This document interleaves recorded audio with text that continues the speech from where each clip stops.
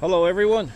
Well, it looks like we're going to have the mother of all storms showing up here this afternoon. It's uh, around quarter to nine in the morning and uh, they're forecasting some terrible, terrible weather. Well, I guess it depends on how you look at it. If you're a tractor owner and you enjoy plowing snow, it's probably as good as a vacation in Florida for us. But uh, yeah, they're forecasting anywhere from 40 could be up to 70 centimeters of snow today with 100 to 110 kilometer hour winds. And uh, it's going to be really really bad. And then tomorrow we're supposed to get another 20 or 30 centimeters of snow. There's a snow bucket over there that I plan on using before the week weekend is out. That vehicle is running because it's getting ready to go in the shop for repairs. Uh, so we'll go in and we'll have a look at the uh, Kubota 5740 that we uh, we bought from Newfoundland Kubota. We buy all our all our equipment from uh, Newfoundland Kubota. Great dealership, fantastic service, and of course you can't beat the uh, Kubota product as well.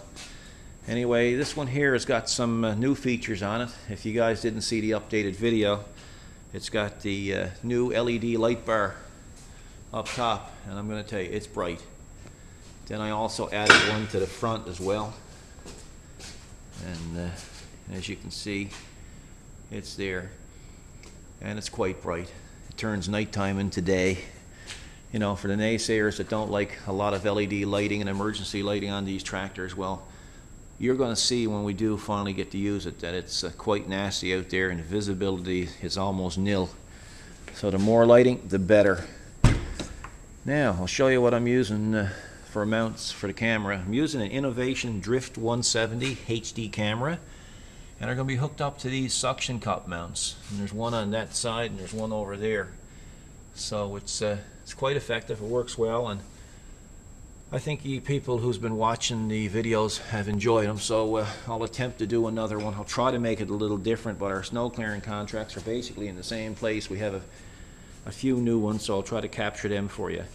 Tractor's all fueled up, so all we got to do now is wait for the snow.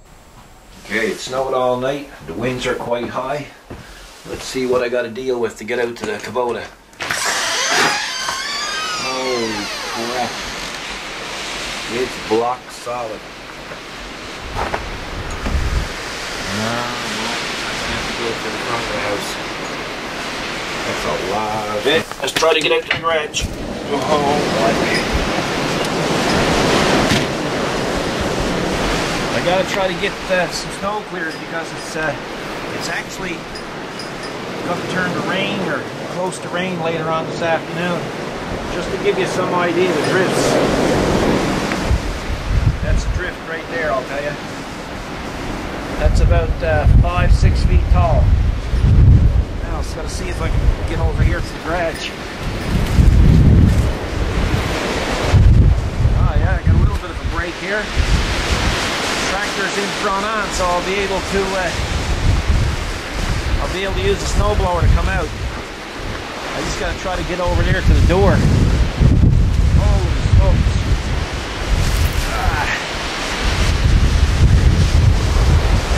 Bad. No trees down. That's pretty good. Get in here. Holy smoke, it's bad.